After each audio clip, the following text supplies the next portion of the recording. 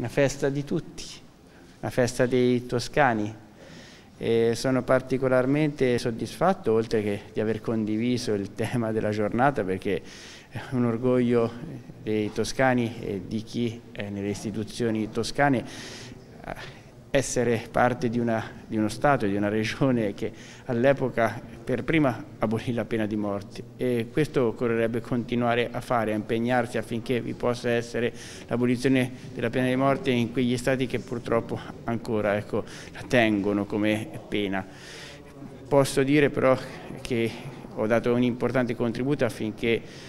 potessero essere veramente protagonisti di questa festa della Toscana gli enti locali verrà data una bandiera ai sindaci, ci sarà il corteo dei gonfaloni, la festa di tutti, degli enti locali, delle associazioni, della scuola, il Consiglio regionale è particolarmente attento al mondo scolastico e di tutti i toscani. Quindi ecco, partire dai territori per legare i territori e tutti i toscani alla regione.